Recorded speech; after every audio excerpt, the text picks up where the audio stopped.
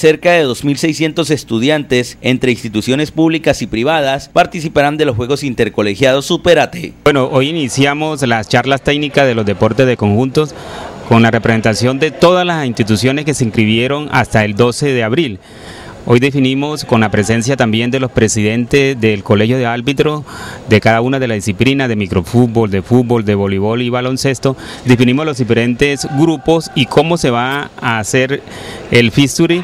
El INDERBA tiene como fecha para el inicio de los Juegos Intercolegiados el 24 de abril, con una concentración en el Coliseo Luis F. Castellanos.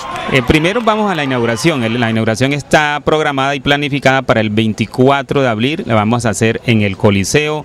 Eh, estamos invitando a todas las instituciones, no solamente a los deportistas que están inscritos, sino a cada uno de los alumnos. En esta versión de los Juegos Intercolegiados Supérate tendrá 16 disciplinas. La fase provincial se cumplirá en la ciudad. En esta novedad tuvimos eh, un deporte como es balo en mano, se inscribieron tanto en la infantil como en la junior, representantes de las diferentes instituciones. También tenemos ciclismo, que es otro deporte individual también tuvimos inscritos y el triatón, que este año también es una novedad en los Juegos Intercolegiados Supérate. Se estima que los Juegos Intercolegiados terminen entre el 4 y 5 de junio.